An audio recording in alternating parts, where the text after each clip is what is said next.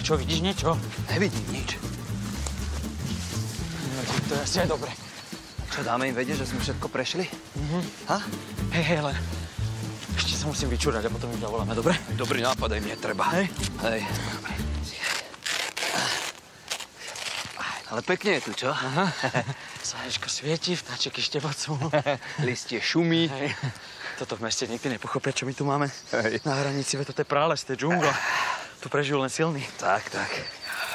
Ja. Ale pozri, aké je to pivo drahé. Aha, už je tam, v lesnej pôde. Čo je v lesnej pôde?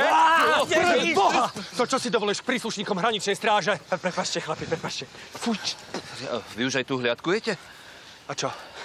Čo, mali sme vám dať vedieť o zmene hliadkovacích trás? Čo tu robíte? My, my sme v hasičskom, takže my, my kontrolujeme hasičské trasy, že keby horelo, či je všetko priechodné. Hej. Mm, alebo kontrolujete, či sú priechodné pašerácké trasy, čo? Hej, do, dovolte, neuražajte našu hasickú česť. Jasné, chlapci, poďme, otvorte batohy. Ale... No kontrola! Batohy!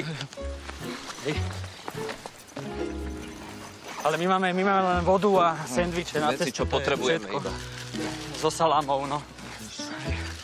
Dobre, zmiznite odtiaľto. Zmiznite odtiaľto! Od teraz bude sprísnený režim! Rúzlojné hliadky!